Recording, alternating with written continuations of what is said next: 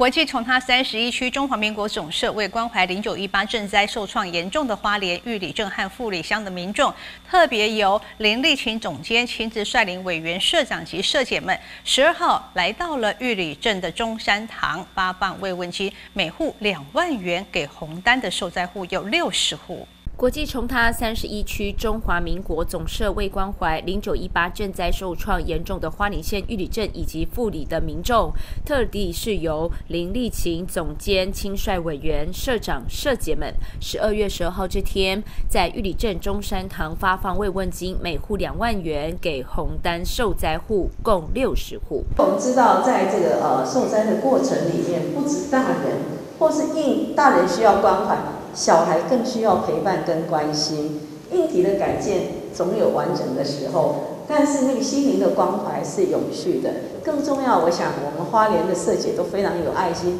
在地哈啊，然后陪伴永续的关怀，也许善款会用完。但是我们的爱心可以源源不断。玉里镇公所代理镇长江东成说：“非常感谢各界善心人士伸出援手拥抱受灾户。虽然公部门资源有限，但是民间的力量力大无穷。相信各界的帮助能够让受灾户早日修建安身立命的家。公部门没办法做的事情真的蛮多的，尤其是各位受灾户，你自己家宅住宅，包括财务方面，哦，动产方面、不动产方面的受损部的话。”真的，有时候公部门的手，公部门的相关的资源，真的是没办法送到各位受灾户的手上。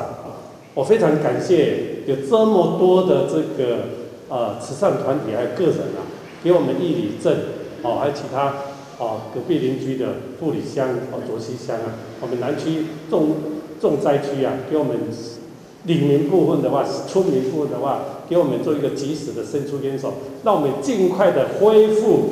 这个正常的一个回归的一个生活。慰问金由受灾户代表玉里镇公所代理镇长江东城以及富里乡公所秘书代为受赠，再由公所近日尽速转发给受灾户，期盼抚慰灾民受创的心，支持他们尽速重建家园，回到生活正轨。记者高双双玉里镇采访报道。